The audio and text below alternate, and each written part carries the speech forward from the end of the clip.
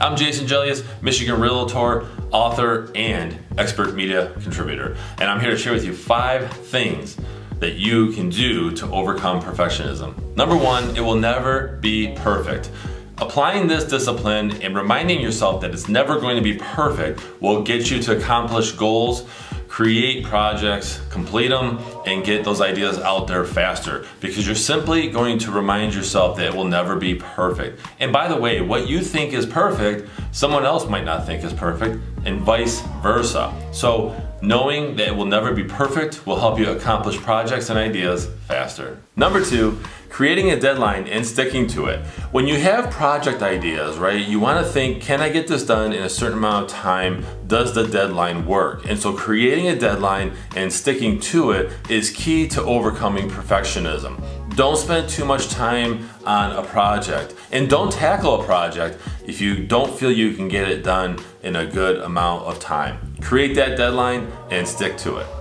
Number three, know that you are a perfectionist. It's okay if you're a perfectionist, nothing wrong with that, except you don't want to spend too much time, again, ready, aim, aim, aim, aim, aim, always aiming and not executing that project or idea. You want to be sure that you put the discipline in place to accomplish your projects or ideas. Number four, seek out feedback from others.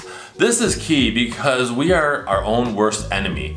Uh, I have a graphic design background, and so when, when I would design something, I would show other people and I'd say, what do you think about this? And I would get several points of view. Same with when I do articles for press. I ask people feedback. What do you think of this article? How do you feel it's written? Things like that. And while I don't take their feedback 100%, uh, I do like to get that feedback so that I feel confident that I'm putting out something that is of value.